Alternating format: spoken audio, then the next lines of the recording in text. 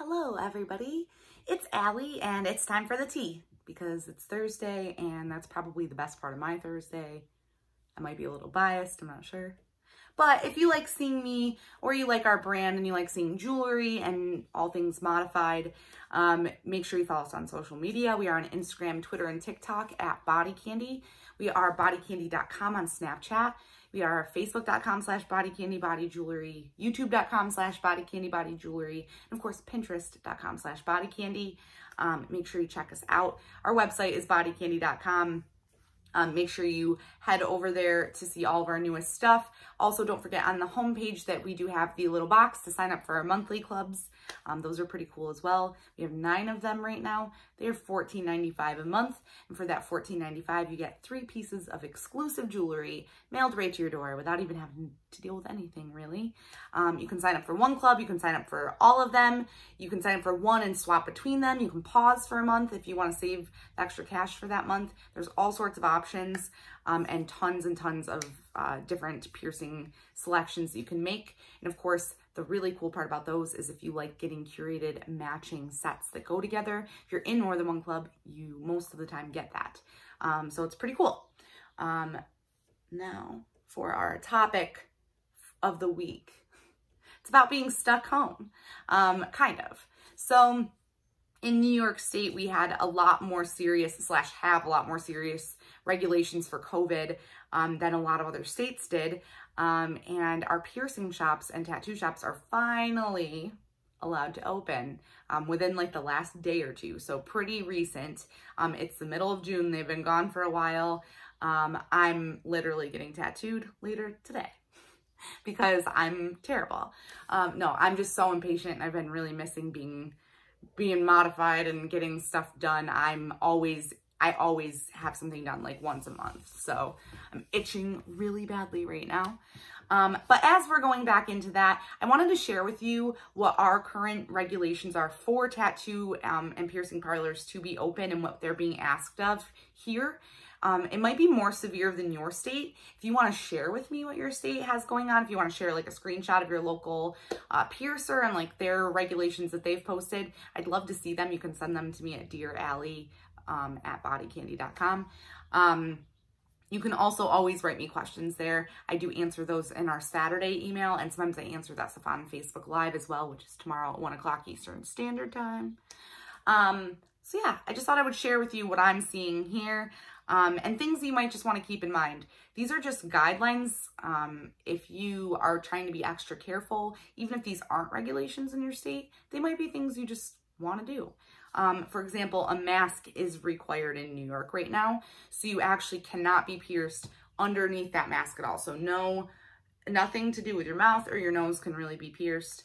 Um, and I have seen multiple piercing shops saying that um, they don't want to do children's lobes right now either because of masks being slipped on and off. Um, and I think for kids, it's just a little bit different to heal a piercing. Um, you know, they're moving around and banging into stuff and being kids. So that's a bummer, but I get it. Um, for everything else, you have to keep your mask on at all times. They're asking that you come alone. You don't bring anybody unless you are 16 and you need your parent or guardian there. Um, and even then, it's just the one person. You can't do a walk-in. You have to make an appointment. Um, most places, including like hair salons and stuff, are saying, you know, you need to wait in your car. We'll come unlock the door when we've done um, our complete sanitizing routine from the last person that was in there. Um, so there's just no chilling in the shop. They're also asking us not to bring anything with us, no cell phones, um, keep your keys in your pockets. Um, you know, they sanitize your hands when you get in there. So they're just like, hey, we don't want you touching all this outside stuff, which I totally get. Your phone, if I've learned anything out of all this, your phone is really gross all of the time, regardless of what's happening. I've started cleaning my phone like crazy. Ugh. Anyway, um, so yeah, you can't be pierced on your mask, have to wear the mask. Uh, sanitize your hands, can't bring stuff, can't bring people. It's pretty, like, it's pretty much you go in there, you get pierced, you leave, which is really fine. Um, and these are all things, tattoo shops and piercing shops, in my opinion, are places that are a lot cleaner than other things most of the time anyway. Um, they already have a lot of strict guidelines from each state. Um, for example, like the little one-use cups that you see them put your ink in, that is a state regulation that they do that.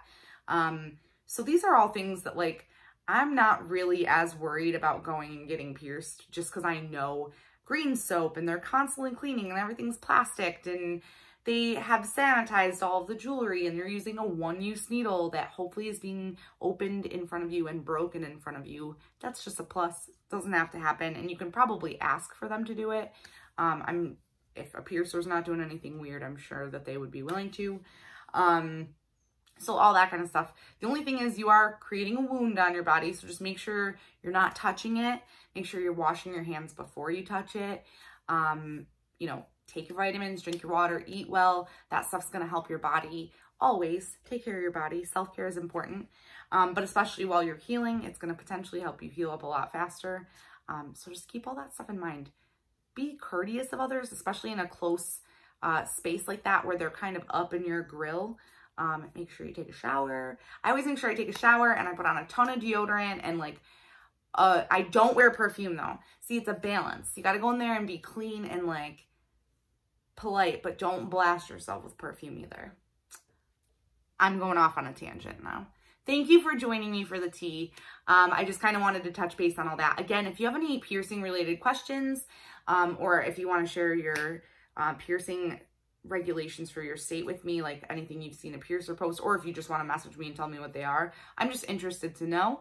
Um, you can send those things to Dear Allie at bodycandy.com and I will see hopefully everybody for Facebook Live tomorrow. If you're to come to Facebook Live at 1 o'clock Eastern Standard Time, make sure that you go to our Facebook page prior to that. There's a pinned post at the top of the page. Follow the instructions, and that's going to enter you for the giveaway that we do on live, which is a year's subscription to one of our monthly clubs of your choice. So it's pretty cool. Thanks for hanging out with me. I hopefully will see you tomorrow, but if not, we'll see you next week. And from now until then, be kind to people, do good, be good. See you.